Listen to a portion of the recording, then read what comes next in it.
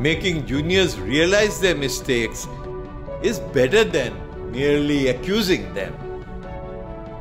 If you accuse a junior, he becomes defensive. He doesn't understand why you are accusing him because you have not explained to him. If you explain the things to him, he will realize his mistake and never do it again.